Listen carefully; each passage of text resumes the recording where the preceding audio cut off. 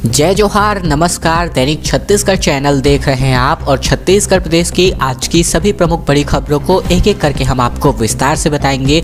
इससे पहले अगर आप छत्तीसगढ़ प्रदेश के हैं, छत्तीसगढ़ समाचार ठीक इसी प्रकार रोज़ाना देखना चाहते हैं तो नीचे लाल कलर का सब्सक्राइब बटन दिया है, जिसे दबाकर इस चैनल को आपको सब्सक्राइब करना है। सबसे पहली बड़ी खबर है, तीर कमान लेकर राजधानी पहुँचे हज़ारों की संख्या में किसान। गरियाबंद से निकाली गई ट्रैक्टर रैली, एमएसपी पर फ़सलों की खरीदी की मांग। की गई है। दरअसल शुक्रवार को गरियाबंद से होते हुए हज़ारों किसान रायपुर पहुँचे। केंद्र की सरकार के खिलाफ नारेबाजी करते हुए किसान ट्रैक्टर रैली निकालते हुए आगे बढ़े। अलग अलग ग्रामीण हिस्सों से सभी राजधानी में जुटने लगे। दोपहर के वक्त शहर में इंडोर स्टेडियम के पास किसानों की आम सभा का आयोजन किया गया। कृषक संगठन के नेताओं ने इसको संबोधित किया। इस प्रदर्शन को लेकर के किसान नेता तेजराम विद्रोही ने बताया कि केंद्र सरकार के कृषि कानून वापस लेने का सिर्फ़ ऐलान किया गया है। कागज़ी तौर पर इसकी प्रक्रिया पूरी नहीं की गई है। किसान अब भी इसकी आशंका में है कि कहीं पिछले दरवाजे से कृषि कानूनों जैसे कोई नियम सरकार फिर से लागू न कर दे। रायपुर में संविधान दिवस के मौके पर निकाली गई इस ट्रैक्टर रैली के बाद किसानों ने कहा कि अब एमएसपी पर फ़सलों की खरीदी हो और इसकी गारंटी चाहिए। कृषि कानून के विरोध में आंदोलन के दौरान 700 किसानों की जान गई है, जिन्हें शहीद का दर्जा दिए जाने की भी मांग करी जा रही है। छत्तीसगढ़ पीएससी के 171 पदों पर भर्तियाँ होनी प्रस्तावित है। डिप्टी कलेक्टर डीएसपी सहित राज्य में सरकारी अफसर बनने का अवसर आया है।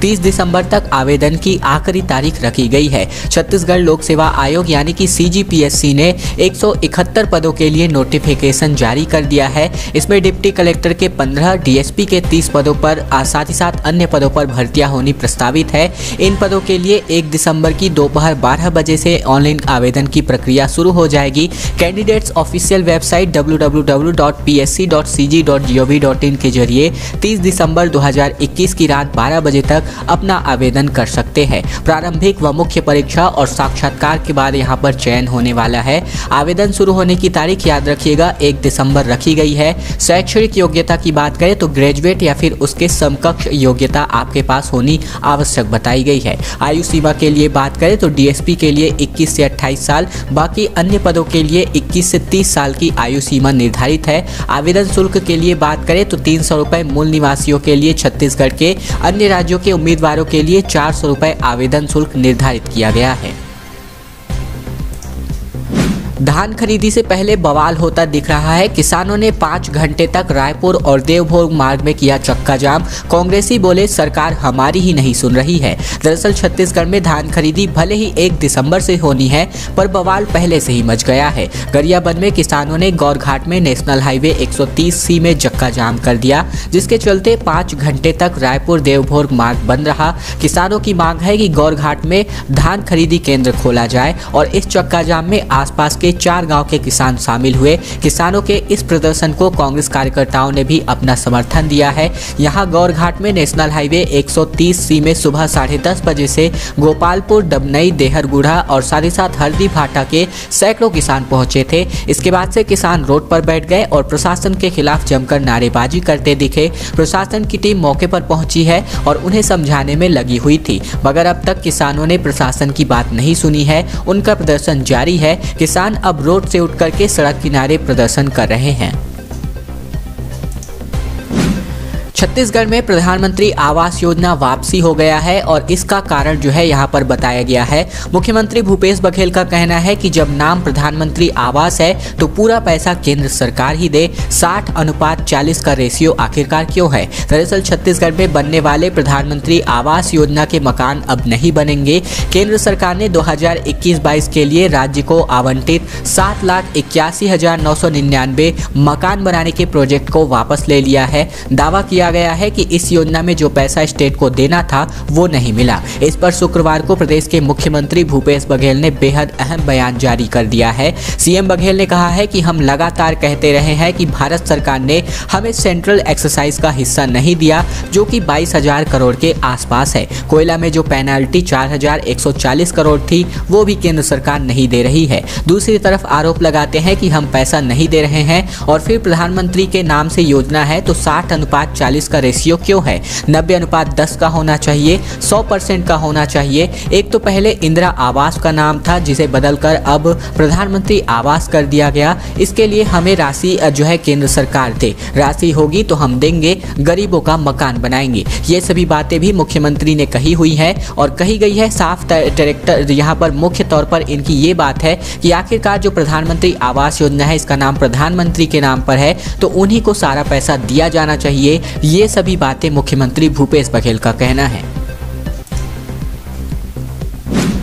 पुण्य के साथ अब इनाम मिलने वाला है। सड़क हादसे में घायलों की मदद करने वालों को सरकार जो है, इनाम के तौर पर कुछ रुपए देने वाली है। दरअसल बात करें कि अभी तक जो है, फ़िलहाल अगर मैं बात करूँ तो सड़क हादसों में घायलों की मदद करने वालों को अब सरकार पाँच हज़ार रुपए का इनाम देगी। इसके अलावा प्रशस्ति पत्र भी दिया जाएगा। सड़क दुर्घटना में घायलों का जीवन बचाने के लिए जनता को प्रेरित करने के उद्देश्य से इस योजना को शुरू किया गया है। मालूम हो कि दुर्घटना के बाद एक घंटे में घायलों को इलाज मिल जाता है तो कई मौतों को रोका जा सकता है। वहीं आपको ये भी बताते चले कि रोज जो है छत्तीसगढ़ में चौंतीस औसतन सड़क हादसे होते हैं, जिनमें हर दिन लगभग उनतीस लोग घायल हो रहे हैं। दरअसल प्रदेश में सड़क हादसे में अगर मैं बात करूँ, जनवरी से 30 अक्टूबर 2021 के बीच कुल मिलाकर 304 दिनों में चौवालीस सौ उनसठ लोगों की मौत हो चुकी है। तो वही कुल दस हज़ार दो सौ तिरपन हादसों में कुल मिलाकर आठ हज़ार नौ सौ उनतालीस लोग घायल हो चुके हैं। राज्य पुलिस मुख्यालय से मिले आंकड़ों के अनुसार रोज़ाना औसतन चौंतीस सड़क दुर्घटनाएँ हो रही हैं पूरे प्रदेश में। इसमें औसतन उनतीस लोग घायल हो रहे हैं जबकि गत वर्ष 2020 में कुल 9,277 हादसों में तीन हज़ार छः सौ छप्पन लोगों की मौत और आठ हज़ार तीन सौ उनचास लोग घायल हुए थे। यह गत वर्ष की अपेक्षा दस दशमलव सात पाँच फ़ीसद हादसे हैं। इसके अलावा इक्कीस दशमलव ज़ीरो नौ फ़ीसद मौत है और सात दशमलव ज़ीरो छः फ़ीसद घायलों में होने वाले ज़्यादा हैं। तो ये इसके लिए जो है सरकार ने एक बेहतरीन जो यहाँ पर जो यहाँ पर नियम है वो यहाँ पर लागू किया है।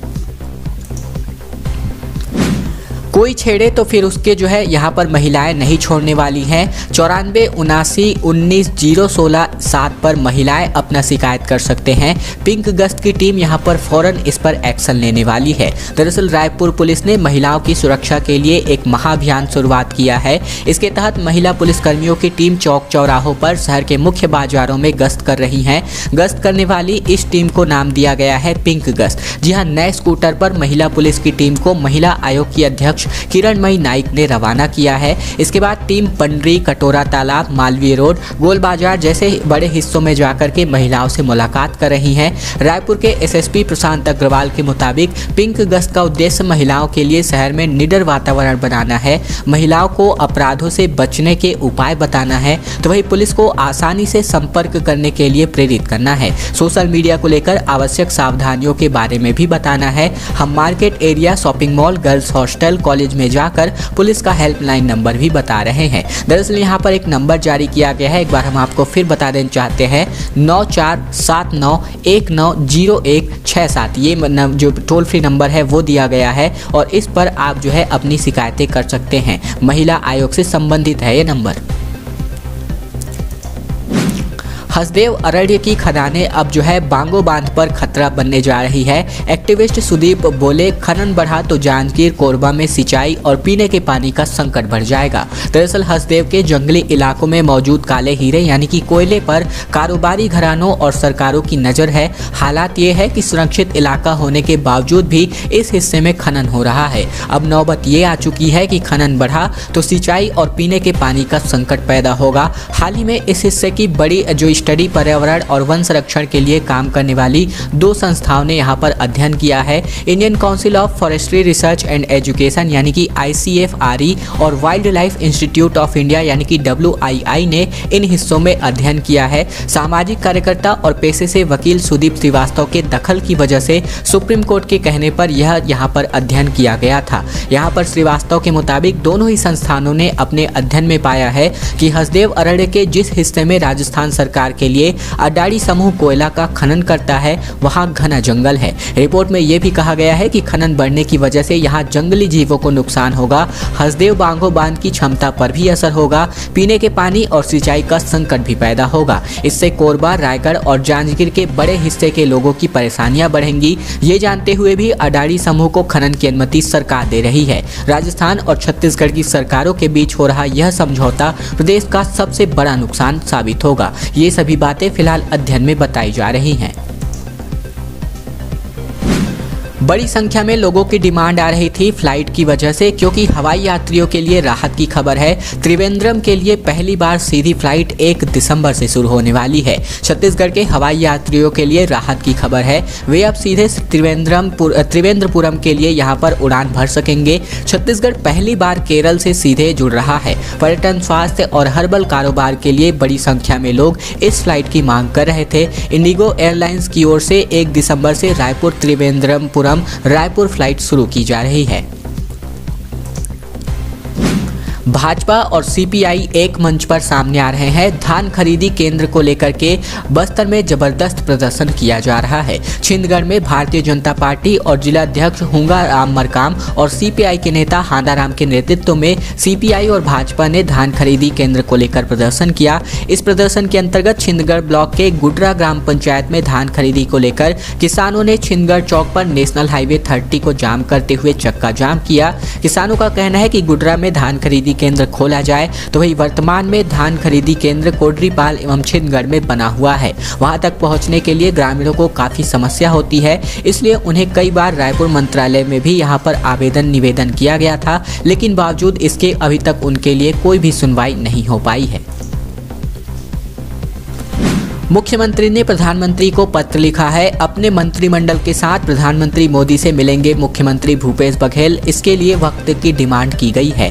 बता दें, मुख्यमंत्री भूपेश बघेल ने अपने सभी मंत्रियों के साथ प्रधानमंत्री नरेंद्र मोदी से मुलाकात करेंगे। इसमें वे पीएम को राज्य के किसानों और उसना मिल मजदूरों की समस्याओं से अवगत कराना चाहते हैं। प्रधानमंत्री से इस मुलाकात के लिए मुख्य सचिव अमिताभ जैन ने प्रधानमंत्री कार्यालय को पत्र लिखकर तिथि एवं समय निर्धारित करने का अनुरोध किया। किया है। जैन ने पीएमओ को भेजे गए अपने पत्र में कहा है कि सीएम भूपेश एवं सभी मंत्री प्रधानमंत्री मोदी के रूबरू होकर के भेंट कर धान का उपार्जन से संबंधित विषयों पर चर्चा एवं अनुरोध करना चाहते हैं। जैन ने यह भी उल्लेख किया है कि केंद्रीय खाद्य मंत्रालय से छत्तीसगढ़ में केंद्रीय पूल अंतर्गत शत प्रतिशत अरवा चावल यानी कि इकसठ लाख पैंसठ हज़ार टन उपार्जन किए जाने का निर्देश प्राप्त हुआ है, जबकि विगत वर्ष में राज्य से उसना चावल भी लिया जाता रहा है। और और इस निर्देश को लेकर भी यहाँ पर निवेदन किया गया है।